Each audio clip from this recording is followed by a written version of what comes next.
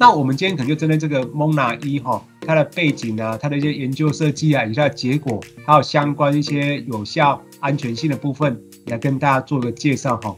第二说，其实我们目前有很多药物可以使用，但是荷尔蒙素的阳性哦，这种早期的一些乳癌来讲，虽然是喝吐没有过度表现，但是还是有百分之二十到百分之三的病人在追踪过程中会陆续复发哈。那哪些是它的危险因子？包含说，哎，这个淋巴结转移比较多，或者说它 Ki 六七比较高。或者肿瘤比较大的情况之下，我们认为可能这些病人是属于相对讲是高复发风险。那我们既然已经知道这些高复发风险的，已经使用过这么多药物，它还是复发了，那有没有更好的一些药物选择，可以让这个风险降低？哦也是许多诶临床试验的专家或者医师希望能够去解答问题。那建立 CDK 四六这个药物哦，在那个转移性乳癌病人，他的得到一些这么好的一个效果哦。所以就想说，哎，我们在因为早期乳癌治疗上面是不是可以看到效果？哦，大家知道说，一个药物的研发，常常都是从转移性的一个疾病开始先试用的哈，因为转移性乳癌病人哈，或他常常的存活时间比较短，哦，不管这药有效或没有效，很快就可以发现了哈。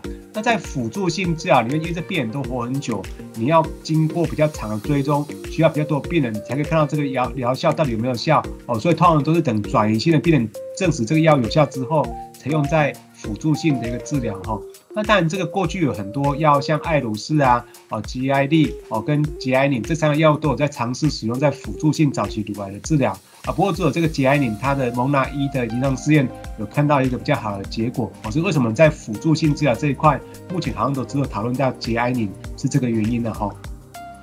那这个蒙纳一是一个全世界多中心的一个临床试验，它可以说它收到五千六百多个病人哈，有大概呃。三十八个国家所案，代表说这是全世界的一个资料哦，它的可信度是相当的一个可可靠的哈。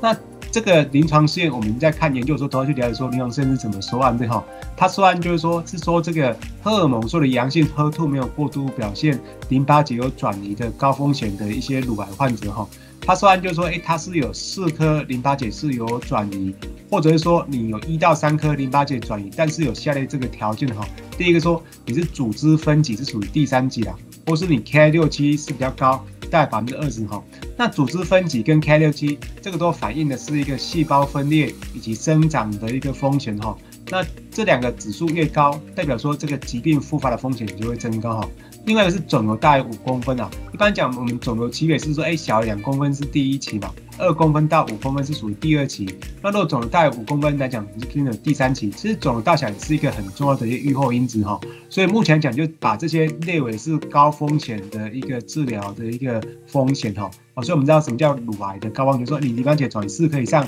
我们认为是高风险，或者说你是一到三颗以上，但是有组织分解大于三，只算是第三期，K 六七大于百分之二十。或肿瘤大概五公分以上，我们就认为是高风险。如果说你在临床上有看到这个患者，哦，大家小心说，哎，这个病人是比较高风险哈。那一般我们临床实验是就是把它随机分配哈，那这是以一个一比一的比例，就是说目前标准的一些荷尔蒙治疗哦，就是照医师认为是标准去来治疗哦，给他五到十年嘛哈，或者说我们在标准的治疗情况之下，同时加上这个啊吉艾宁。他给是给一百五十毫克，哦，早晚吃这样子，他给两年的一个治疗，来希望了解说，哦，到底这个治疗上面有什么差异哈？